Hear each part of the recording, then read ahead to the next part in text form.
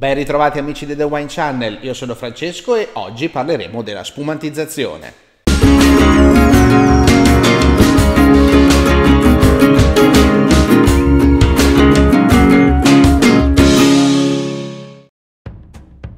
Siano italiane o francesi, bevute in occasione di festa o semplicemente per fare un brindisi ben augurante, i vini spumanti eh, sono parte della nostra tradizione e della nostra cultura. Oggi eh, inauguro una serie eh, di puntate che ci porterà a conoscerli più da vicino, eh, partendo oggi con appunto una puntata dedicata a qualche eh, spunto più eh, generale su, sui vari argomenti che riguardano questo mondo per poi entrare più nello specifico con una puntata dedicata alla storia eh, del vino spumante e mh, puntate sui vari metodi per ottenerlo. Mh, quindi oggi partiamo con una puntata introduttiva e dicendo appunto, intanto partiamo dalla prima eh, domanda, ma che cos'è effettivamente un vino spumante? Beh,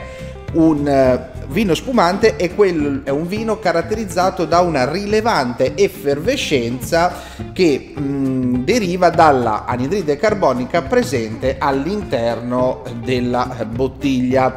E, ehm, la manifestazione più evidente della presenza della CO2 è la cosiddetta spuma, quindi eh, quella diciamo mh, mm, vista, eh, eh, quelle bollicine, quella leggera schiuma soprattutto che si nota quando si va a versare eh, il, mm, il vino nel calice. Ecco, il vino spumante è considerato un vino speciale, poi anche qui faremo una puntata sui vini speciali prossimamente e mm, e di fatto eh, si differenzia dal vino frizzante, perché ovviamente qualcuno potrebbe dire, beh, anche il vino frizzante ha delle bollicine. In realtà la differenza è data dalla pressione a livello di bar che è contenuta all'interno delle bottiglie. Difatti, se per un vino frizzante solitamente abbiamo una pressione che va da 1 a 2,5 bar, per quanto riguarda i vini, eh, i vini mm, spumanti abbiamo una pressione di almeno 3 bar. Poi vedremo che a seconda delle caratteristiche potremo avere anche delle pressioni più elevate. Poi, altro diciamo mito da sfatare o comunque chiarimento che sicuramente vi potrà essere utile. A volte si parla di spumante e champagne pensando di parlare di due cose completamente diverse. In realtà non è così. Eh, per la normativa di fatto anche lo champagne è un vino spumante ehm, e quindi non fa eh, differenza la metodologia di eh, produzione, così come mh, all'interno parlando di sempre vini spumanti un prosecco appunto è identico come indicazione di eh, denomina- di, diciamo, di nome o comunque di caratteristica a appunto uno champagne. In realtà quello che si può differenziare è solo il metodo, la metodologia con la quale viene ottenuta la spumantizzazione. Di fatto abbiamo diverse eh, tipologie di metodi che poi andremo ad approfondire, come vi ho detto all'inizio, con delle puntate dedicate. Comunque si parla normalmente di le due più grandi, le due più famose, le più utilizzate sono il metodo classico champenoise, che è quello appunto tipico dello champagne, oppure il metodo Martinotti Charmat, che è il metodo cosiddetto in, in autoclave, che è più tipico solitamente del eh, prosecco. Quindi mh, anche qui eh, appunto due modi diversi di ottenerlo, ma di fatto tutti e due sono spumanti. Eh, piccolo cenno storico, anche qui faremo una puntata poi sulla storia del, dello spumante, ma in realtà se pensate che sia nato con eh, Don Perignon o comunque eh, con eh, il, appunto, i discorsi legati allo champagne, in realtà non è propriamente così. Di fatto eh, vi erano già dei vini spumanti anche nell'antichità, addirittura ai tempi dei romani Ovviamente questi vini molto spesso erano ottenuti in maniera del tutto casuale e non voluta. Eh, magari per dei difetti diciamo o per non aver seguito determinate eh, norme di cantina si ottenevano questi vini spumanti ovviamente non in maniera voluta ma eh, un, po', un po' casuale. E da qui quindi poi lo sviluppo che hanno avuto questi vini nel tempo. Eh, ricordiamo che solo più recentemente vogliamo, hanno ottenuto la visibilità e la conoscenza che abbiamo oggi, prima si beveva altro e anche questo lo vedremo nella storia dello spumante.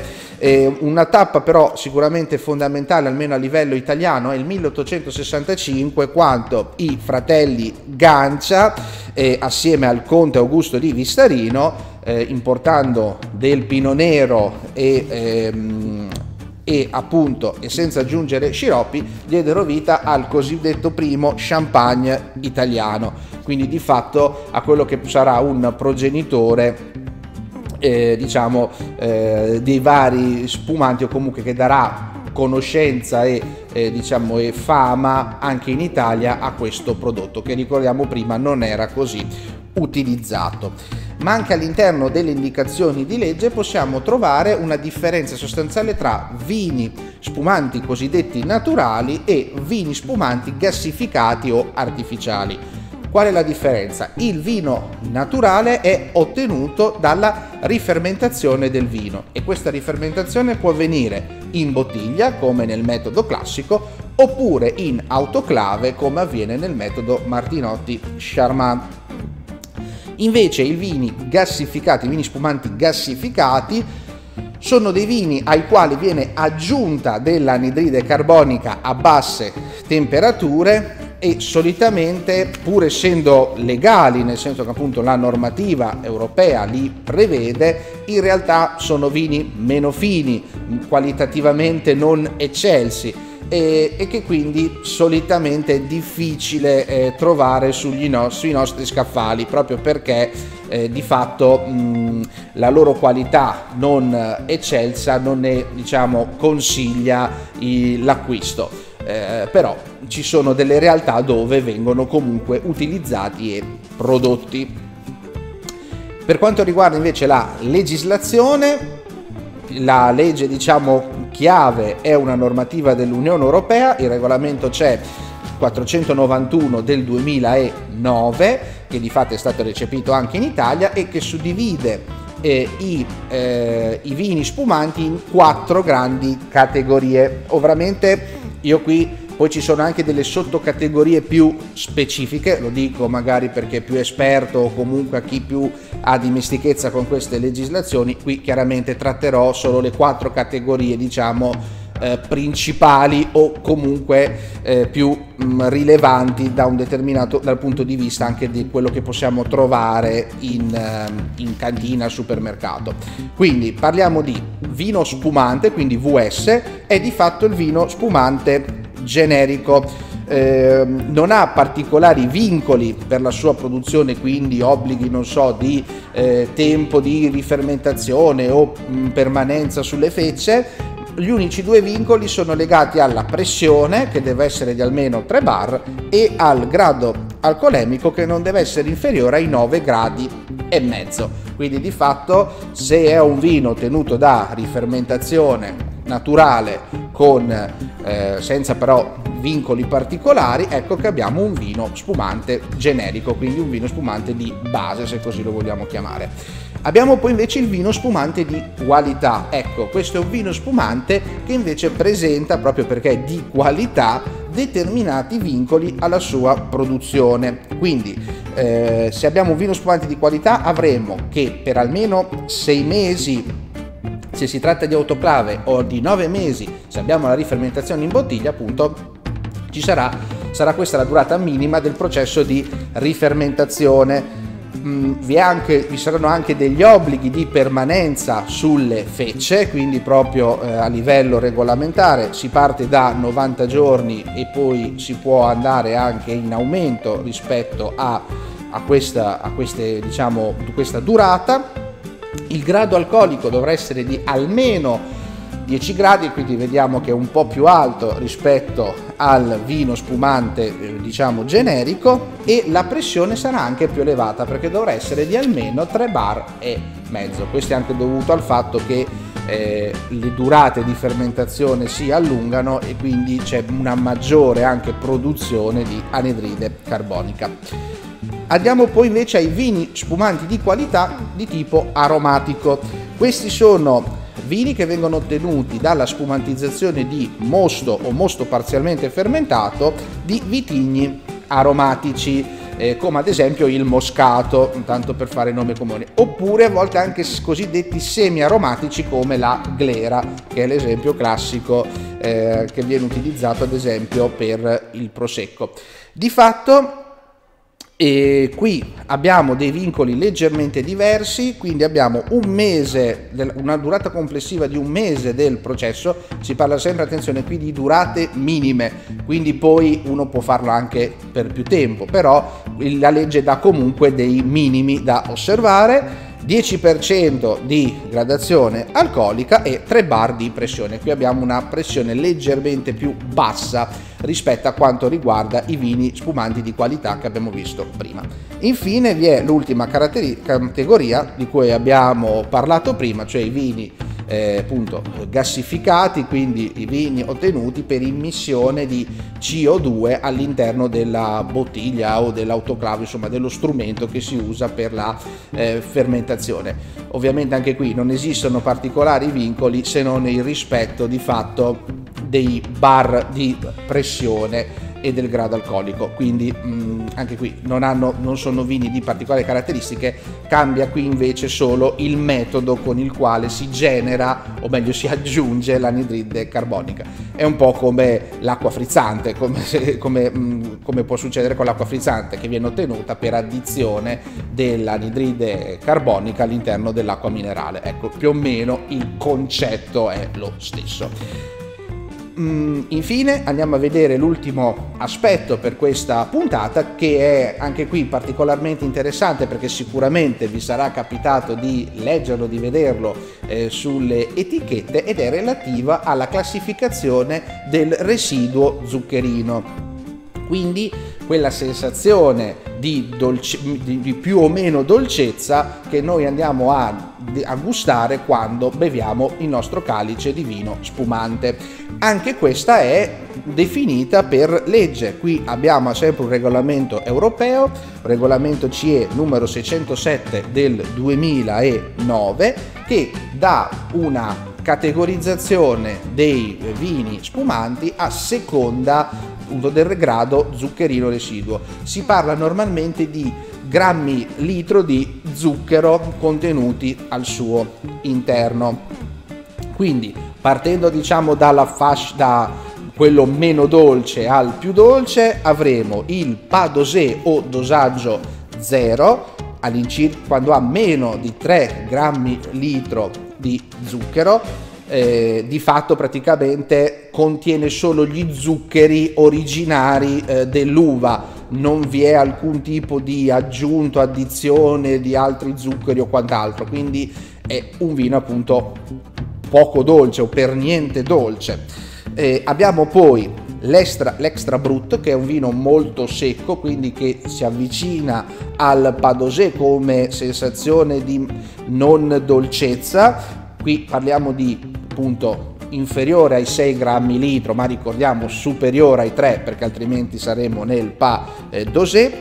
Abbiamo poi il brut che è diciamo la categoria più visibile o comunque una delle più utilizzate a livello commerciale che è il secco che quindi abbiamo 12, meno di 12 grammi litro, l'extra dry che è un secco però con già una nota un po' più morbida, un po' più dolce e siamo fra i 12 e i 17 grammi litro.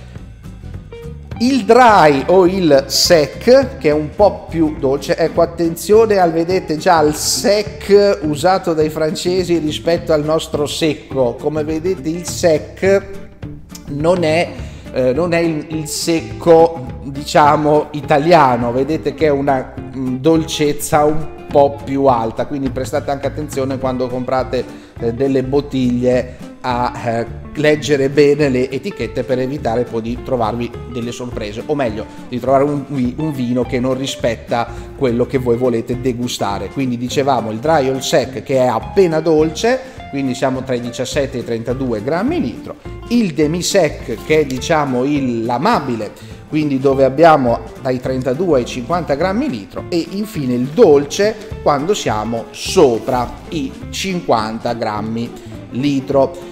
Ecco, vista questa carrellata veloce di mh, diciamo tipologie di dolcezza, chiamiamole così, andiamo a, vi do qualche indicazione in merito. Allora, diciamo che il Padoseo, il dosaggio zero, è un eh, dosaggio solitamente eh, riservato ai, ai vini spumanti prodotti con il metodo classico. Attenzione, quando parlo di tendenzialmente non è detto che in assoluto solo loro, però solitamente eh, viene utilizzato su queste tipologie per indicare dei vini eh, particolarmente fra virgolette estremi, cioè vini proprio per appassionati, eh, dove quindi non si vuole sostanzialmente alterare con altri gusti o comunque con la dolcezza il sapore originario dell'uva e del vitigno che viene utilizzato all'interno della bottiglia. Quindi mh, eh, sono appunto eh, vini che richiedono anche una certa dire, conoscenza o preparazione per essere effettivamente apprezzati. Quando invece parliamo di vini, fra virgolette, un po' più commerciali o più, di un po' più largo consumo, eh, possiamo dire che il metodo classico solitamente si aggira tra il brut e l'extra brut, quindi su eh, tipologie un po' meno dolci. Lo Charmat o Martinotti eh, si invece eh, diciamo ruota più attorno al Brut Extra Dry, quindi sostanzialmente se il Brut è un po' una linea di congiunzione per tutti e due i metodi, mh, mm, lo, il classico è un po' più girato sulla parte eh, diciamo meno dolce, mentre invece lo Charmat Martinotti sulle parti un pochino più dolci. Il dry, che abbiamo visto prima, è una caratteristica quasi solo in uso per gli Charmat. È difficilissimo trovare un, uh, uno spumante dry eh, fatto con metodo classico. Eh, questo appunto anche per le modalità che poi vedremo con cui vengono prodotti i due vini.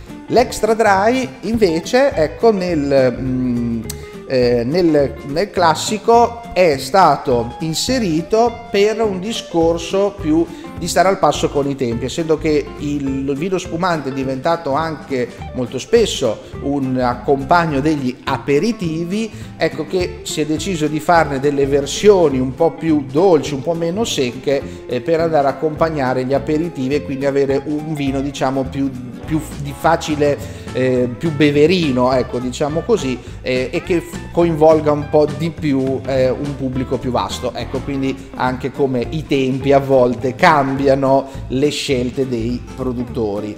Eh, arriviamo poi al demisec. Allora, il demisec è un vino che in realtà, pur essendo abbastanza dolce, paradossalmente è anche il uno dei più versatili, proprio perché un, si può abbinare ovviamente con criterio e con scelte oculate sia al dolce che al salato. Quindi diciamo che eh, da un punto di vista di abbinamenti su, a tutto pasto è quello che si, presta, si può prestare maggiormente proprio per questa diciamo dote di ambivalenza su entrambi i mondi. Infine, parlando dei vini dolci, eh, solitamente questi eh, vini spumanti sono eh, caratteristica e eh, diciamo rientrano molto spesso tra quelli aromatici. Solitamente i vini aromatici, ad esempio l'asti spumante, eh, tanto per fare un nome e cognome, eh, solitamente vengono prodotti nelle loro versioni dolci, proprio perché i vitigni aromatici si prestano molto